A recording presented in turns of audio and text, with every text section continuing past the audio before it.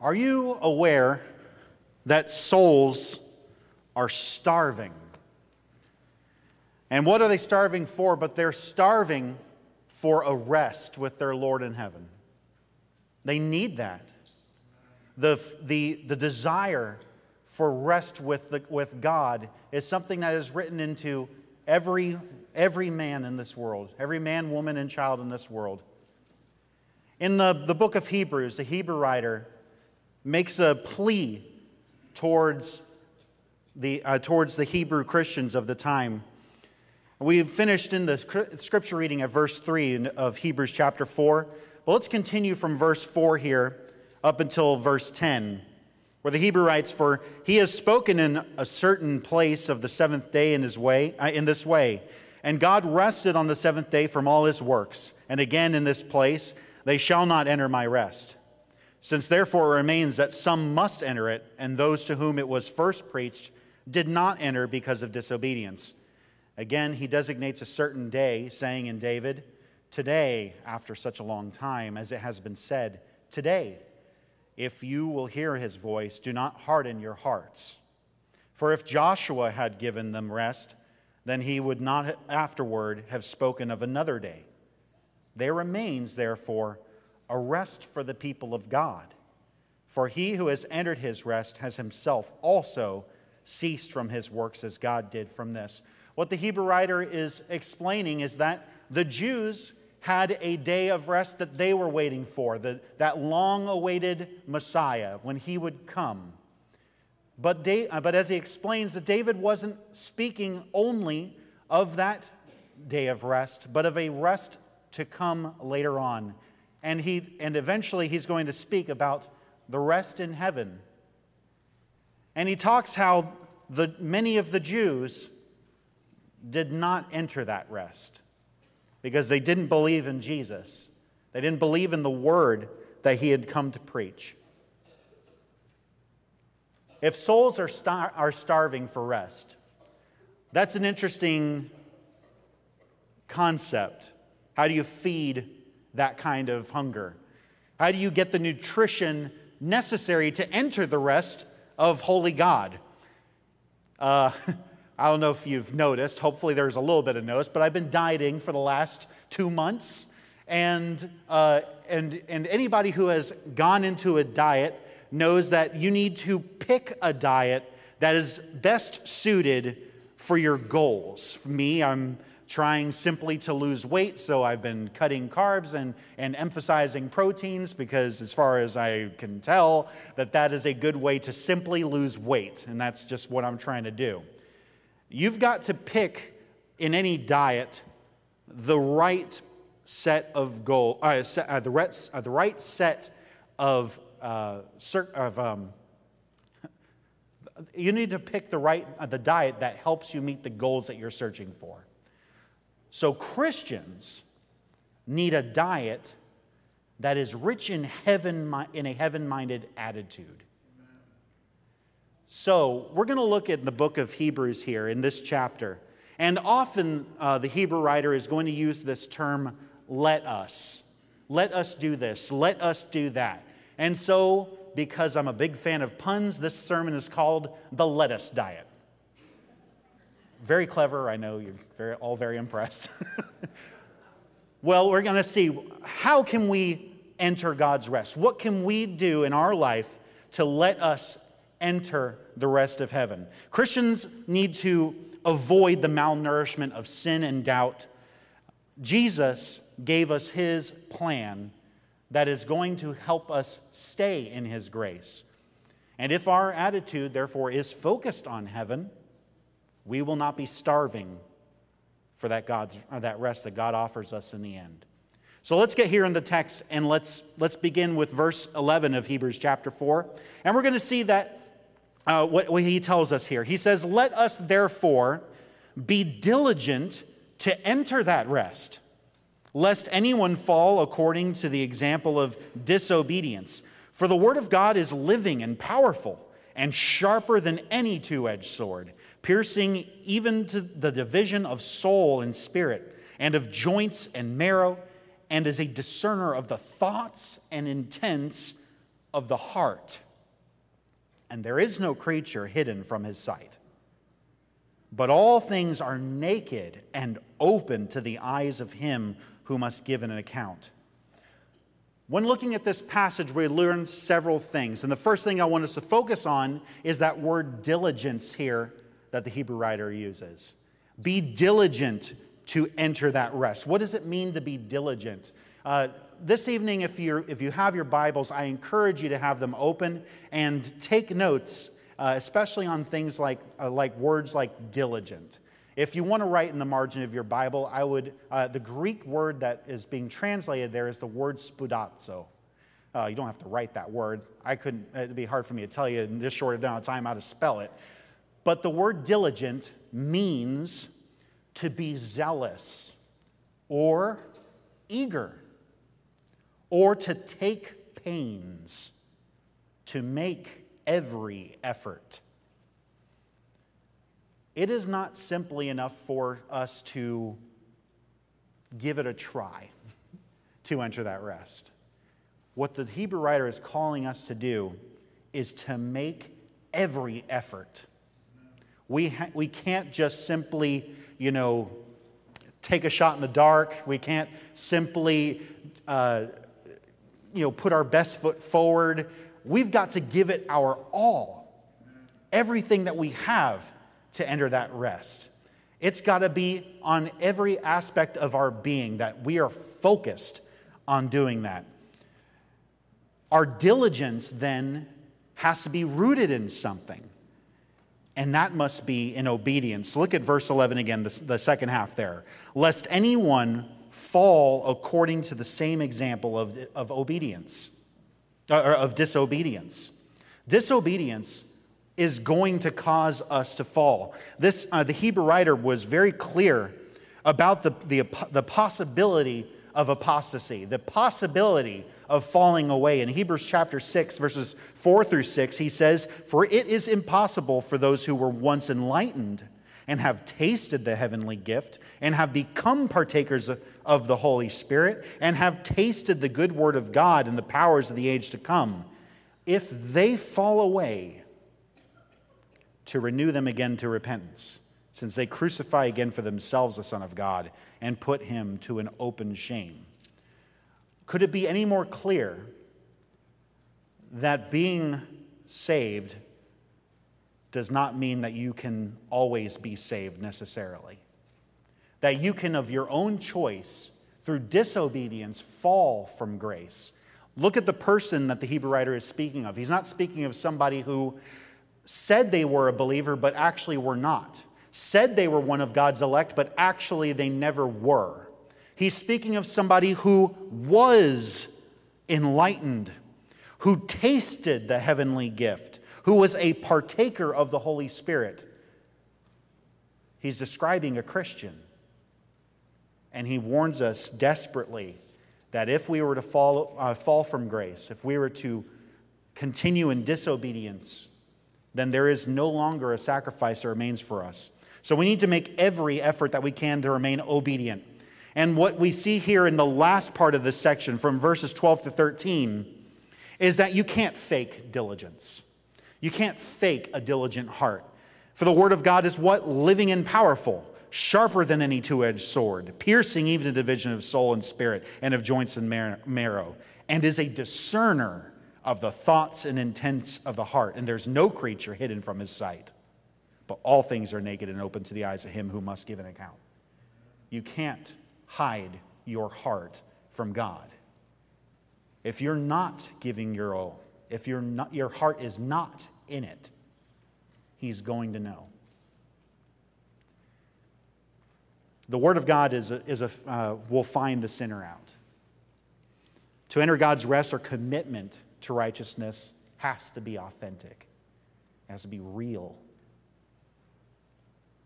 A perfect church attendance is, does not matter if we continue to indulge in sin. We need to put all those things aside and we need to focus our entire being, our heart and soul, on doing what's right, being obedient to God. And if we do that, we can enter his rest. Second thing I want to look at in, in Hebrews chapter 14. Let us hold fast to our confession. Look in verse 14 there. Seeing then that we have a great high priest who has passed through the heavens, Jesus, the Son of God, let us hold fast our confession. Our confession is in whom? But Jesus Christ. That's the, the person who we confess. We confess that we believe that Jesus is the Son of God. And by that confession, we make ourselves a candidate to come forward to be baptized and to have our sins washed away. It is by Christ's name that we have salvation. And, and Acts chapter 4, verse 12 tells us that that is the only name that salvation comes by. Salvation does not come by Moses, it does not come by Mohammed, it does not come by anyone but Jesus. God alone saves.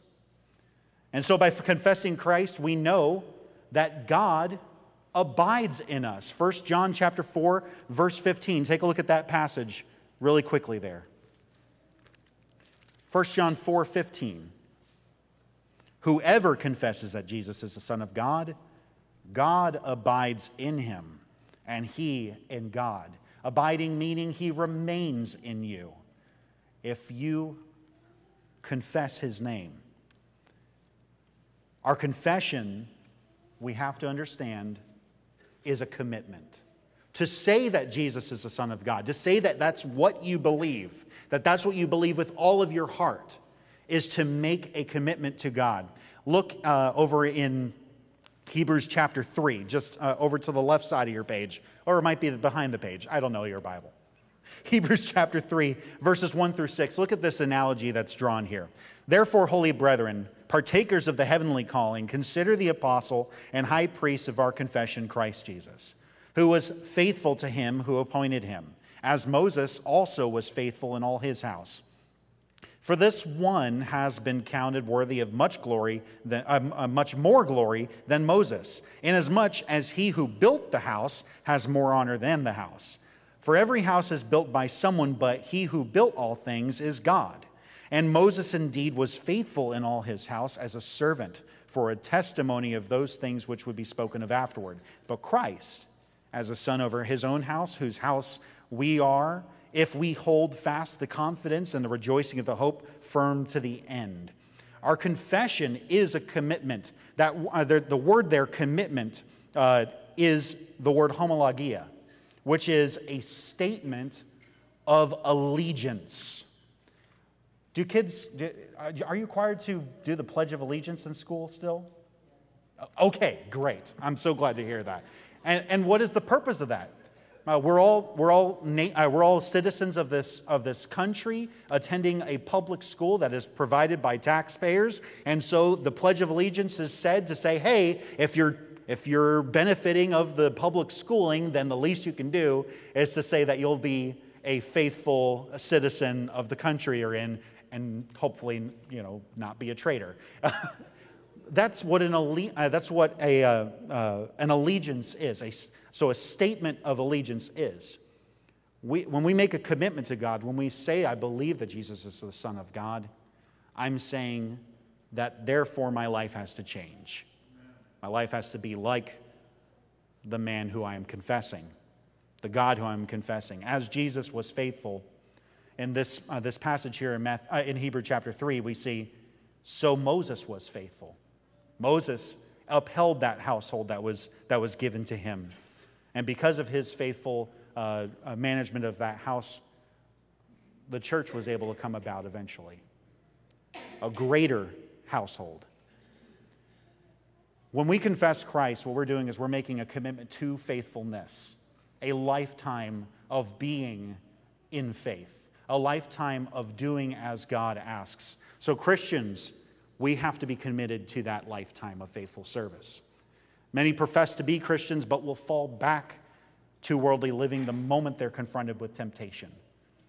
So if we're not faithful, we, are, we need to understand that we will not enter his rest. What does Revelation 2:10 say? But be faithful unto death, and you will receive the crown of life. Anything less than that, then we will not be successful. Last thing I just want to look, look at here in Hebrews chapter 4. Let us boldly come to the throne of grace. Hebrews chapter 4, verse 15 and 16 says, For we do not have a high priest who cannot sympathize with our weaknesses, but was in all points tempted as we are, yet without sin. Let us therefore come boldly to the throne of grace, that we may obtain mercy and find grace to help in time of need. What does Jesus offer to us but grace to all who submit before his throne? He understands us, is what we, lead, uh, we read in verse 15. He's not a king that you have to wait until you're summoned to his, his throne room. You're not, he's not a king where if you're a lowly peasant, if you're, if you're not of the right financial status or the right amount of, uh, of notoriety, then you can't even come before him. Instead, he is one who knows his subjects intimately and understands our heart. And so he welcomes all before him freely because he can sympathize with us, because he lived as us and was tempted in all ways like us.